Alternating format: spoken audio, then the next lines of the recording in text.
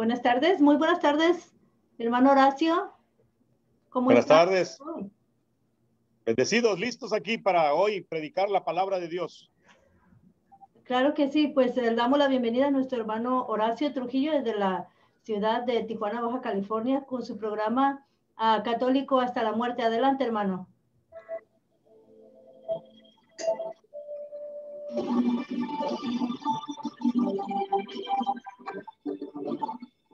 Muy buenas tardes, alabado sea nuestro Señor Jesucristo. Nos da mucho gusto volver a estar aquí con ustedes presente a través de las ondas gercianas, esperando llegar a cada uno de sus hogares. Gloria al Señor. Hoy vamos a hablar de la primer, de la carta de Santiago, mi querido hermano, hermana. Si usted tiene su Biblia, prepárese con su Biblia porque hoy estaremos hablando de un tema interesante.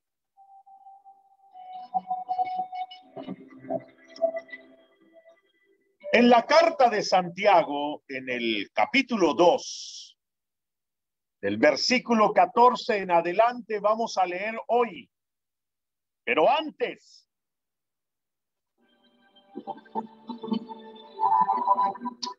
en el nombre del Padre, del Hijo, del Espíritu Santo.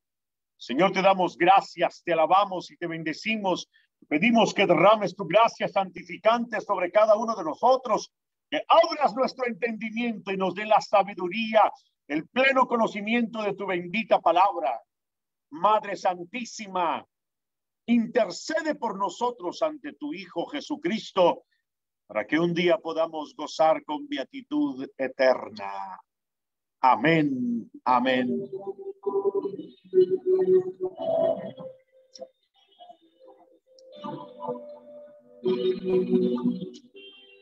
En el capítulo 2, versículo 14 en adelante, dice así esta bendita palabra de Dios. ¿De qué sirve, hermanos míos, que alguien diga, tengo fe, si no tiene obras? ¿Acaso podrá salvarle la fe? Si un hermano o una hermana están desnudos y carecen del sustento diario y alguno de ustedes le dice, ve en paz, calienta y come, pero no le das lo necesario para el cuerpo, ¿de qué sirve? Pues así es también la fe. Si no tienes obras, está realmente muerta. Palabra de Dios.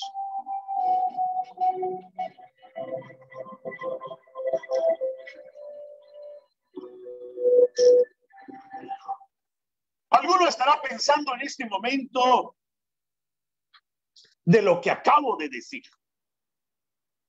¿Cómo que la fe puede estar muerta si la fe es en nuestro Dios, en Jesucristo? Luego dicen, luego dicen los hermanos separados, los de algunas sectas, solo la fe salva. Las obras son carne, las obras son muerte, las obras no te pueden ayudar en nada. ¿Por qué? Porque solo la fe. Y entonces la epístola de Santiago les viene a tirar su doctrina falsa. Y desgraciadamente Muchos católicos caen en esa trampa de pensar que porque creo en Dios, porque creo en Chuyito, porque yo sí creo en la Virgen de Guadalupe, yo sí creo en la Virgen de San Juan de los Lagos, yo sí creo en... Espérame, espérame, espérame, espérame, mi querido hermano, no te vayas con la finta. La Sagrada Escritura nos enseña y la Iglesia Católica nos enseña que la fe sin obra está muerta. ¿De qué, ¿De qué sirve que creas en San Juditas si eres un malandro bien hecho? ¿Eh? ¿De, qué, ¿De qué sirve que digas, yo creo en la Virgen de Guadalupe y no dejas la jarra? ¿Eh? Ya viene el miércoles de ceniza Y entonces, ¿qué? ¿Va a ir a tomar la ceniza porque piensa que es una vitamina que dura un año? Se va a abstener en la cuaresma de, de no andar haciendo maldades y ya nomás termina la cuaresma y vuelve a las andadas. Esa fe está muerta. Claro que tenemos que tener fe en nuestro Señor Jesucristo. ¿Por qué? Porque la fe nos rescata, la fe nos da la confianza, pero la fe sin conversión no sirve de nada. La fe sin conversión es una fe muerta. Y entonces a lo mejor usted se está preparando para ir el miércoles de ceniza, que le pongan la ceniza y que le recuerden, ya no como lo hacían antes, ¿eh?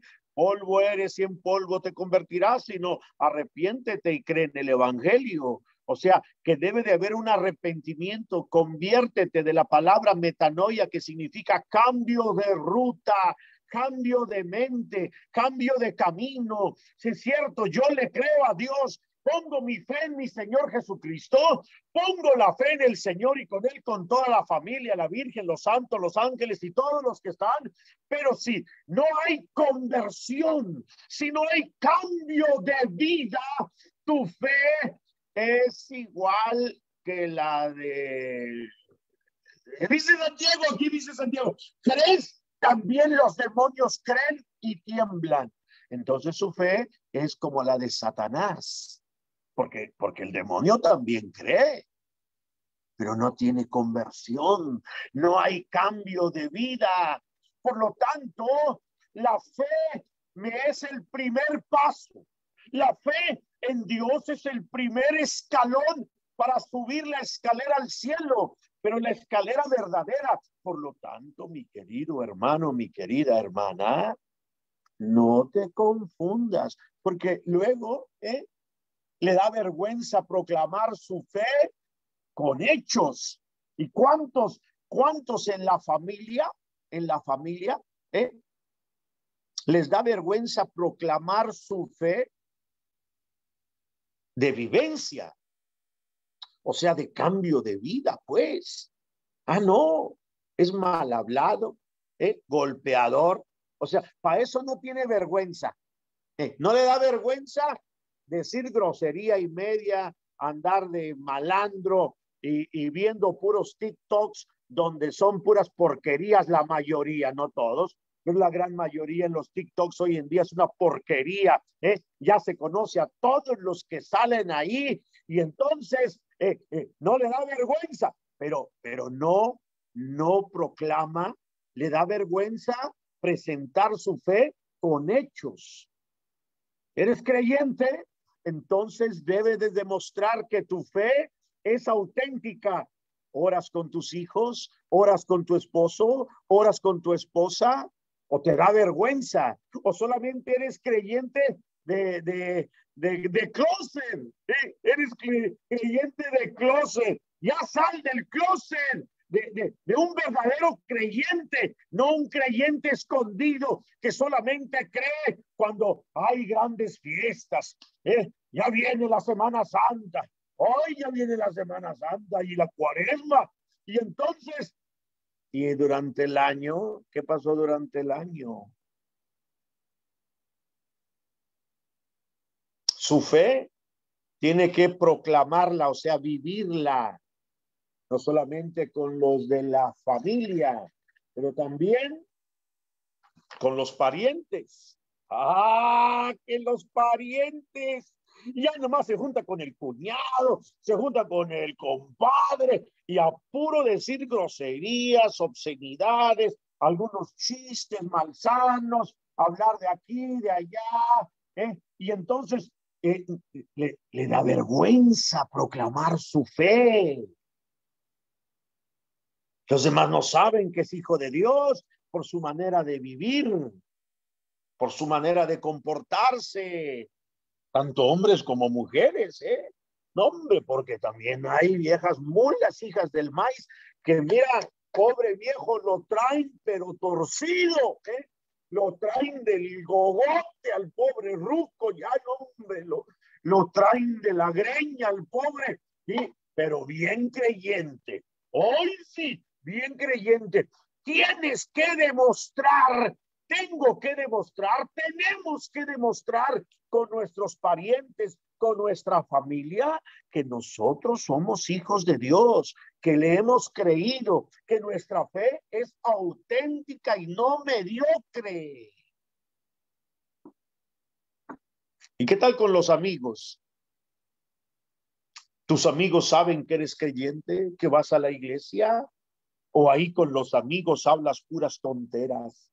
Que si ya traigo aquí a Chencha la peluda, que si ya traigo por ahí un cuerito, que ya hoy ya tengo una vieja por acá y otra vieja por acá y, y, y, no, y también hay mujeres que también les encanta que, ay, que tengo yo Ay, que el vecino, que ya no más que se va mi viejo y sueño con Brad Pitt. Bueno, pues esas son fantasías.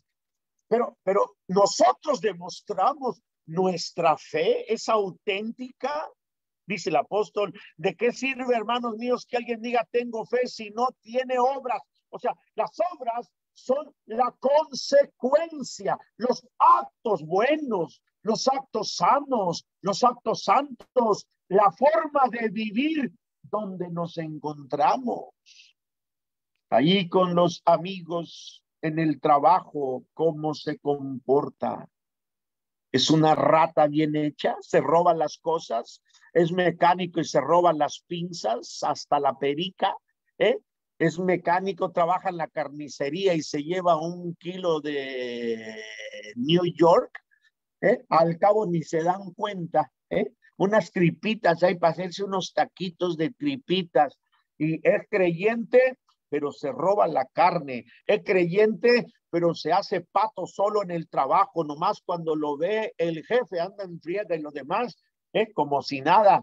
Y entonces, ¿cómo vamos a proclamar nuestra fe con los, cómo les vamos a decir, oye, acércate a la iglesia? ¿Tú, ¿tú vas a la iglesia? Pero eres bien rata. ¿eh? vas a la iglesia, eres bien mal hablado. Pues, ¿Cómo está eso? No, es que, es que Diosito nos perdona todo.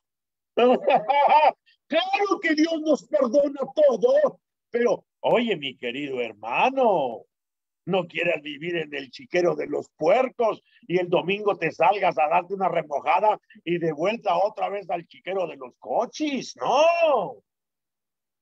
¿Cómo voy a proclamar mi fe pues ya viene el tiempo, aunque no voy a hablar de esto hasta la semana que viene, voy a hablar de la cuaresma, pero como ya vamos a empezar y el miércoles es miércoles de ceniza, entonces, ¿eh? acuérdese aquella, aquella anécdota que yo dije, ¿eh? que hay algunos que el miércoles de ceniza van porque piensan que es una vitamina, ¿eh? que le ponen vitamina aquí en la frente y esa dura un año dura un año porque ya no vuelven hasta el otro año. ¿eh? Hay católicos no solamente domingueros, añeros, ¿eh? añero, no de dinero, no, de año. Y entonces viene hasta el próximo año porque piensa que es una vitamina y entonces va por su vitamina, pero como no se queda hasta el final, nomás le dan así de pasadita y no pega, ¿eh? no amarra. Y entonces eh, al otro año, faltando dos, tres semanas para el, miércoles de ceniza, que es este 17.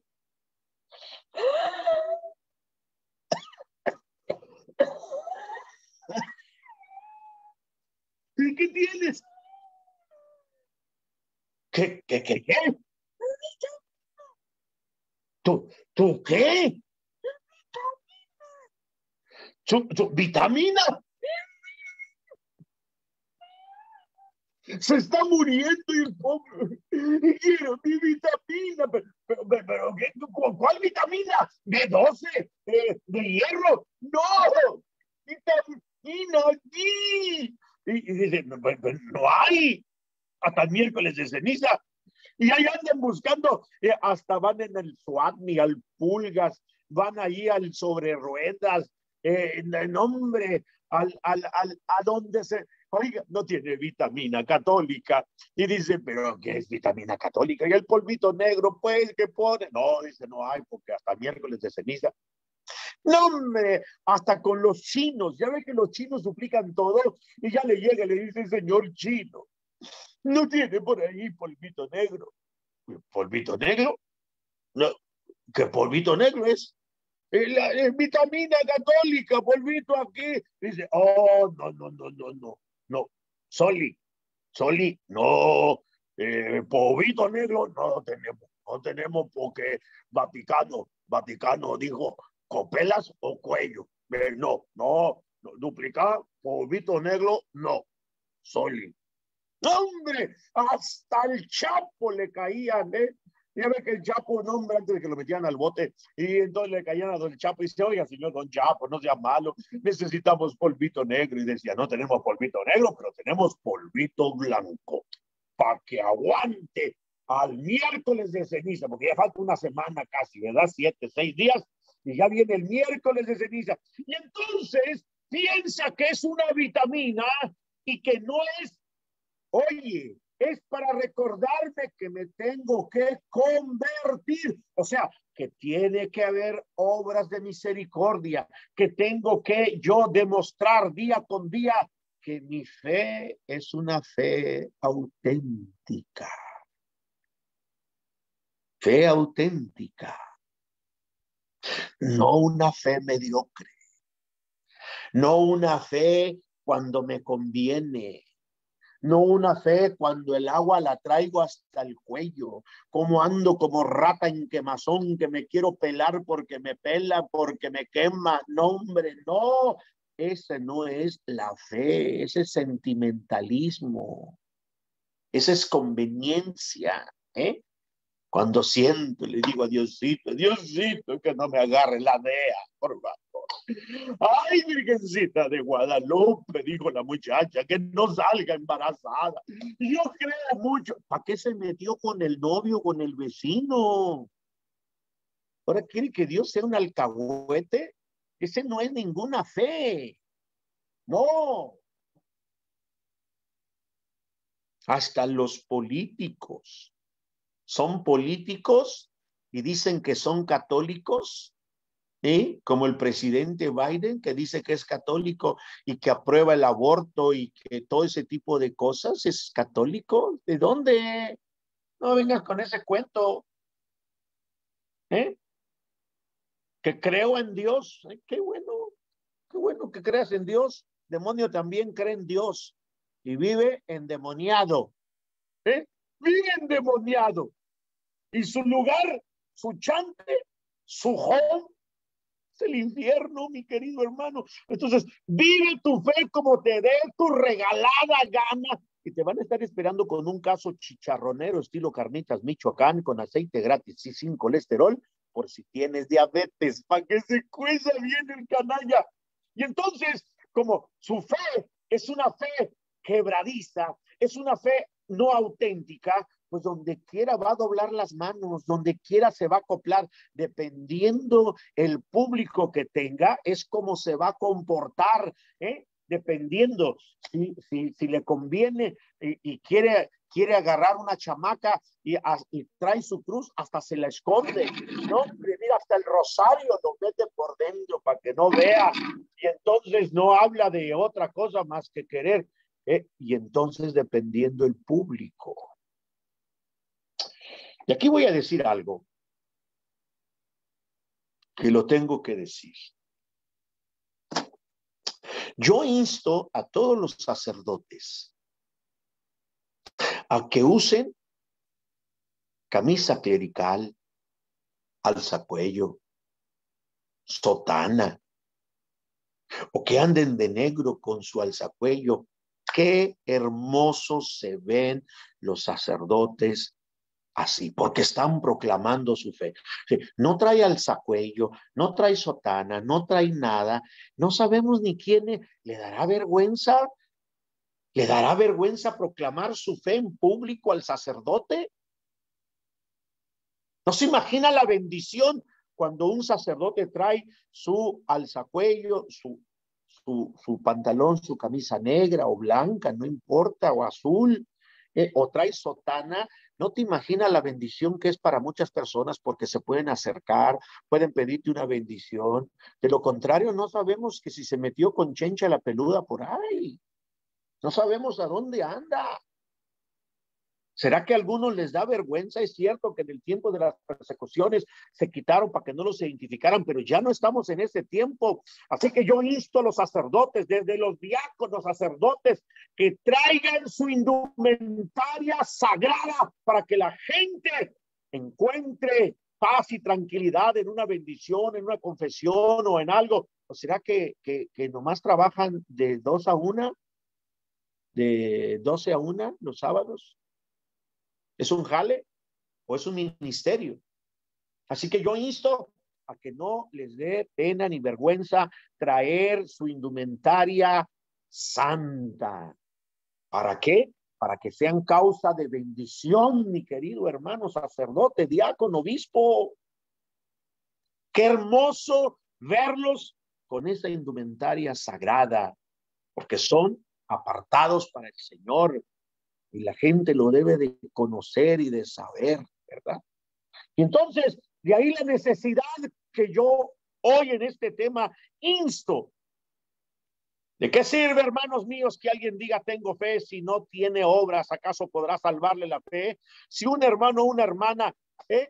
oye lo que está diciendo el apóstol Santiago. Por eso los anabaptistas, que fueron los seguidores de Lutero, ellos querían quitar la carta de Santiago porque les mataba su falsa doctrina, alegando que las obras no sirven de nada y que tú con que creas y sigas vendiendo mota, tú con que creas y sigas en el prostíbulo, tú con que creas y sigas robando, tú con que creas y sigues en la pandilla, no te engañes, porque a Dios nadie lo engaña y dice la escritura, Dios no le dio a nadie permiso para pecar. ¿Quieres vivir como te da tu regalada gana? Échale ganas. Aparta tu lugar en la eternidad. Órale. Pero la decisión es tuya, mi querido hermano, hermana, para que no te engañes, para que en este tiempo que nos vamos a preparar sea un tiempo maravilloso, un tiempo de preparación para la Semana Mayor, y así poder nosotros experimentar su gloria ya desde ahora. Aleluya, alabado sea el Señor, porque el Señor quiere bendecir tu casa, quiere bendecir tu negocio, quiere bendecir tu familia. Entonces, que no te dé vergüenza. ¿Eh? Mira, nosotros tenemos este, se llaman las bendiciones para los alimentos. Empieza con algo sencillo. Mire, mi hijo, mire, a ver, saque una cartita, le dice a su, esto es para la hora de la comida, para que no coman como burros. Perdón por el burro, ¿qué culpa tiene el burro, verdad? Que uno que, que a veces es malagradecido con el Señor. Entonces, usted le dice a su esposa, a su esposo, a sus hijos, a partir de ahora vamos a orar en los alimentos de la Iglesia Católica dice que lo menos tres veces por semana toda la familia en su oración. Y dice, fíjese, esa cartita dice, Jesús le dijo, vengan, vamos nosotros solos a descansar un poco en un lugar tranquilo porque iba y venía tanta gente, porque ellos ni siquiera tenían tiempo para comer. Marcos 6, 31. Gracias Señor por darnos el tiempo para compartir el pan y la amistad. Bendice nuestro trabajo de hoy. Amén. Y entonces, ¿qué es lo que hace? La pasa para atrás y en la comida o en la cena, cuando se juntan, saca otra de enfrente. Todos sirven primero el mejor vino y cuando los invitados ya están bebidos bastante, entonces se sirve el vino corriente. Pero tú has guardado el mejor vino hasta ahora. Juan 2.10. Gracias, Padre, por tu Hijo Jesucristo que ha venido a alegrar nuestra convivencia para superar nuestra fragilidad humana. Gracias por compartir nuestra mesa. Amén. Y la pones para atrás. Y así cada día usted empieza, ¿eh? Usted empieza. Oye, hermano, que no tengo yo de esos, hábleme y le decimos cómo obtener y ayudas a la evangelización, ayudas a la evangelización, es con repujado, tenemos de diferentes, y de esta manera usted empieza o compra su Biblia, compre su Biblia y la lees con tus hijos para que vayas practicando y conociendo la bendita palabra de Dios. Y así al ir escuchando la palabra, orando con tu familia, te vas a ir acostumbrando, porque dice también la enseñanza, cámbiale el nombre al pecado y te acostumbras a vivir en él. Qué cosa tan más mala. ¿La fe se vive o no es fe? Te está queriendo engañar. Te has querido engañar pensando que estás viviendo una fe cuando esa fe está más muerta que cadáver. No se engañe, mi querido hermano, mi querida hermana. La fe se vive o no se vive. O diga, estoy en proceso, me hace falta ayuda. Y entonces si te hace falta ayuda, entonces tú llamas a la radio católica y le dicen, ¿dónde hay estudio bíblico? O preguntas en tu parroquia, ¿Dónde hay estudio bíblico? Porque yo quiero aprender de mi fe. ¿Dónde hay enseñanza doctrinal? ¿Dónde se estudia el catecismo? Porque yo quiero aprender y enseñarle a mi familia, enseñarle a mis parientes, que nunca más me vuelva a dar vergüenza, que todo el mundo sepa que soy hijo de Dios, hija de Dios, y que nunca me voy a avergonzar, que le voy a enseñar a mis hijos la fe que yo tengo para que ellos se lo transmitan a sus hijos y sus hijos a sus hijos. Pero si tú no les enseñas, si tú te duermes como el perro en la noche, si no le das gracias a Dios, si no te juntas con tu familia, ¿cuál va a ser la herencia? Una herencia de muerte, una herencia que lo único que vas a hacer es que tus hijos, tarde que temprano, terminen en pasos equivocados. Entonces no dirás, nadie me lo dijo. Porque el día que estés en la presencia de Dios, el Señor te va a recordar este jueves y te va a decir, ¿te acuerdas? Pero yo no sabía. Yo pensaba que nomás era creer en Dios y no, no, no, no, no, no, no, no, no, no, no, no, no. ¿Te acuerdas aquel jueves cuando escuchaste aquel predicador guapo y hermoso. O sea, yo tenía la razón. Yo lo mandé para que te dijera. Ya lo había dicho con el padre Abraham. Allá tienen a los profetas y la ley. Porque no puede ir, no puede ir Lázaro a decirles que cambien. Para eso tienen acá los sacerdotes, predicadores, diáconos. Para eso está la palabra, la doctrina, para aprenderla. Cuando tú la aprendes, mi querido hermano, en tú, tú quieres vivir como a Dios le agrada. Dijo el Señor, ¿quieres ser mis amigos? Hagan lo que yo les diga. Quiere decir que el Señor tiene toda la razón. Yo quiero que me acompañes en este momento. Vamos a terminar en esta oración. Bendito y alabado seas. Que el Señor derrame su gracia santificante, que su poder alcance de generación en generación, que la gloria de Dios se derrame en abundancia.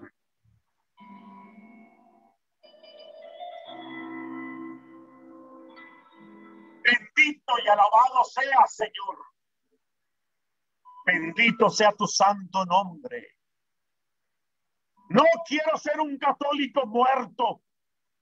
No quiero ser un católico cristiano difunto.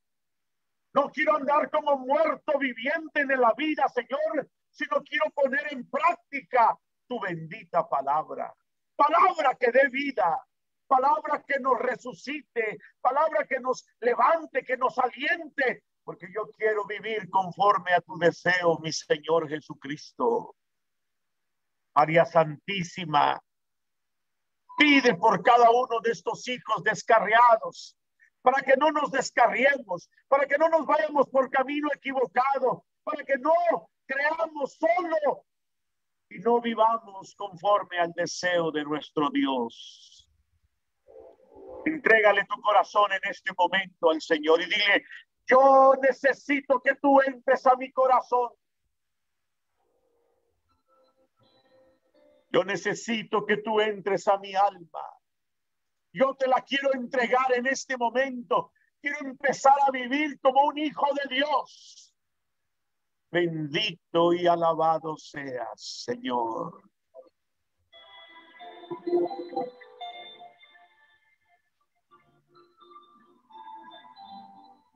Bendito seas por siempre. ¿Quién como tú, mi Señor Jesucristo? Danos la gracia santificante para poder día con día vivir el Evangelio. No importa que estemos en casa, en el trabajo, con los amigos, en la iglesia, en la política, en el mundo. No importa que seas ama de casa, sacerdote, diácono, licenciado, abogado, soldado. Si tú eres creyente, debes de testificar y vivir la vida del Evangelio. Gracias, Señor, porque nos amas tanto con amor eterno. Amén. Amén. Amén. Este domingo 14 voy a estar en la misión de San Gabriel, por si usted anda por ahí cerca.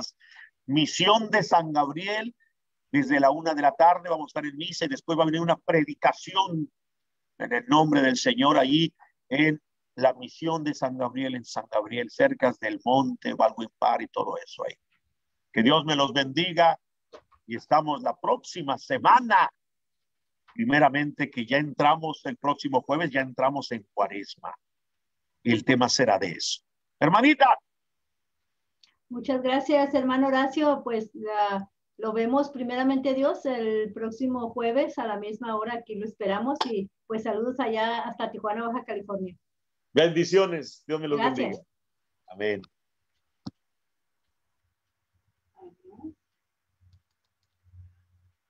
Aquí no tenemos